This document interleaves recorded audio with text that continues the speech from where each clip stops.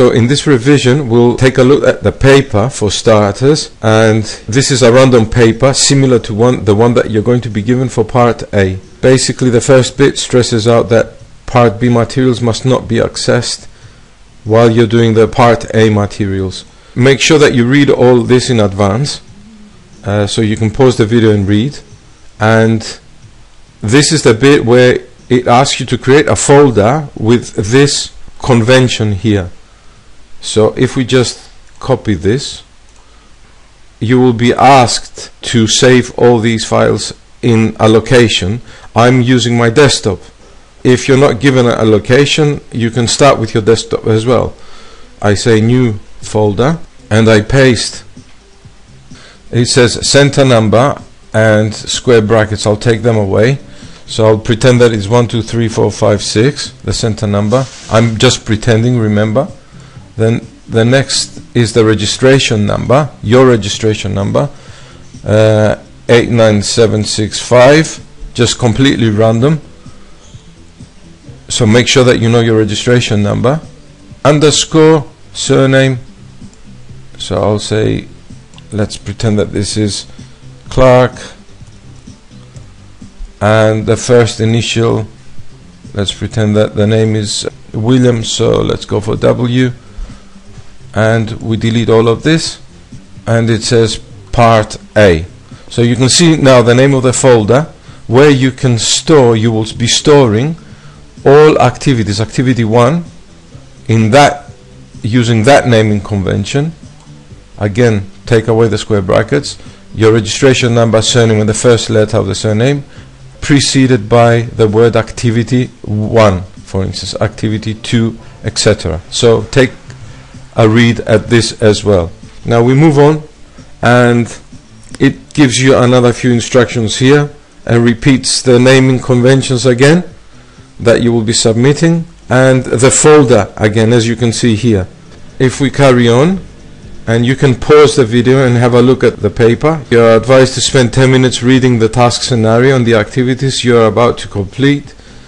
You may make notes, etc. There is a scenario here and this is the Sherbrooke Estate and Safari Park database and we will be dealing with this for starters.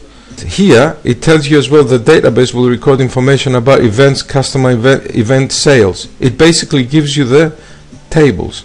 So if we go further down it's got a few more things to consider here.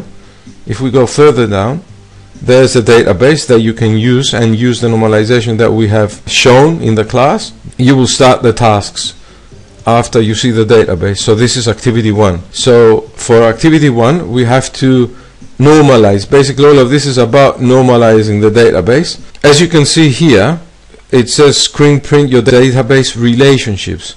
This may as well be asked in a different way. They might ask you to take a screenshot of your ERD ERD it might be where it says activity 1 the final result of activity 1 screen print your database relationships may be instead screen print screen print your ERD yeah it's the same thing. It's the entity relationships diagram. Entities are the tables. Relationships are the links between the tables. And the diagram is the whole thing the whole uh, diagram that you're taking a screenshot of so remember these initials as well in case you see them here. Don't get confused. So let's move on and try to normalize this uh, database here. So I have added this in a different file. The scenario is written down here. When you read this, it's actually giving you the tables more or less, yeah? So the first thing that we're going to do is move the IDs to another area so let's move the scenario a little bit down into another page. And here we have event ID.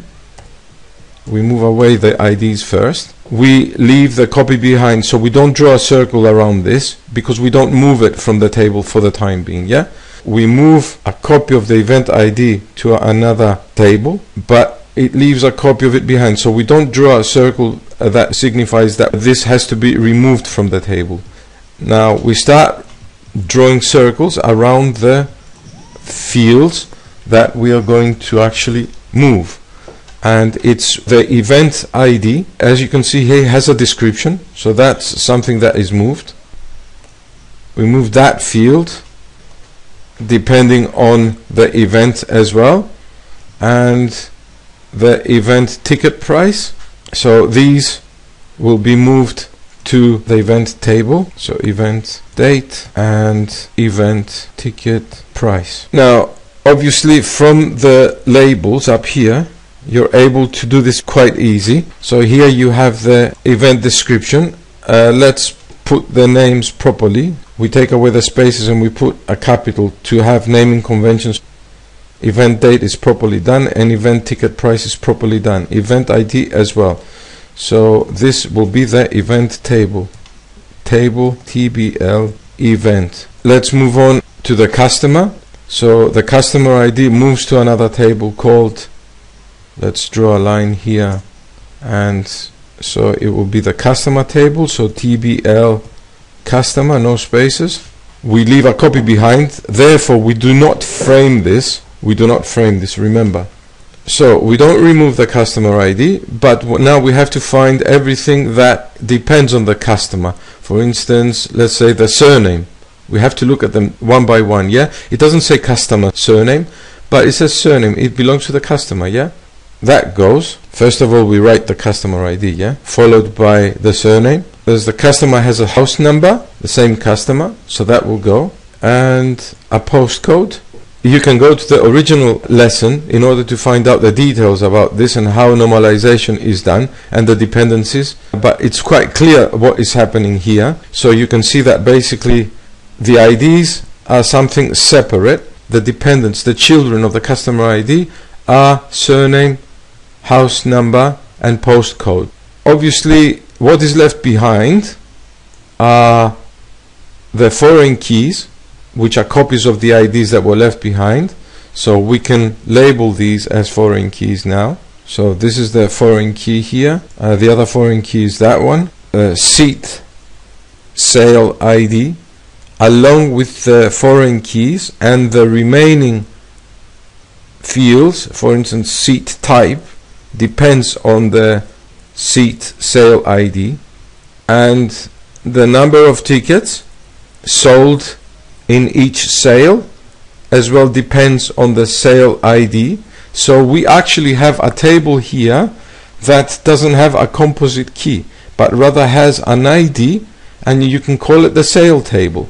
So if we draw another line down here we have the sale ID and here we have the event ID the customer ID the two foreign keys so as you can see here I write them without spaces.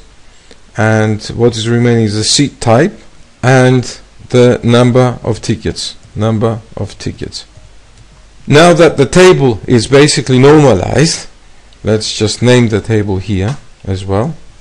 So this will be the TBL sale. And here we have the tables. And we're ready now to actually start creating our tables